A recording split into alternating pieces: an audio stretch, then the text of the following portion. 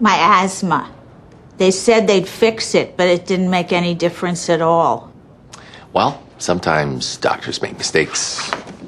Anna, you have to try twice as hard to fix them. Are you using your inhaler? All the time. Go through one a week. You sure you're using it right? Do I look like an idiot? No. Why don't you show me how your inhaler works?